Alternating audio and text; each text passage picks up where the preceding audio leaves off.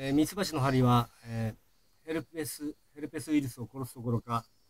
エイズウイルスをもう殺すわけですが、例えば、えー、ヘルペスが目の方に、根元にできた場合、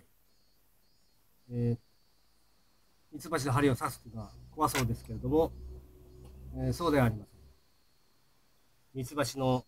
お尻から針だけをピンセットで抜いて、で、針の、えー、2ミリほどの針の長さを調節して、短くして、その根元の、根元に発症しているヘルペスにちょ、ちょ、ちょっと刺して、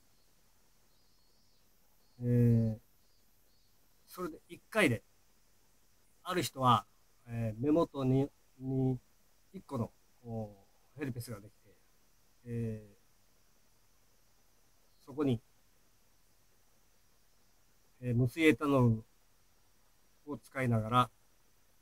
えー、そこにミツバチ針を刺して、1回で治ったこと、治った症例もあります。